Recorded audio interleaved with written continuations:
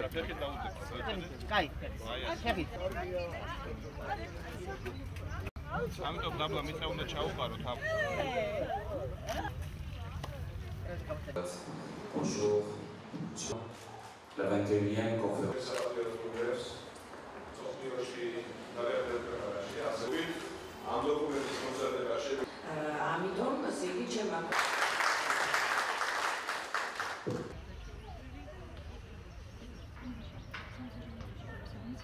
შენ არ გინდა რომ შენ ისწავლო გარემოზე მიყენებული ზიანის ჯამური მოცულობის აღემატება პლანეტის შესაძლებლობებს ერთხნახევარჯერ.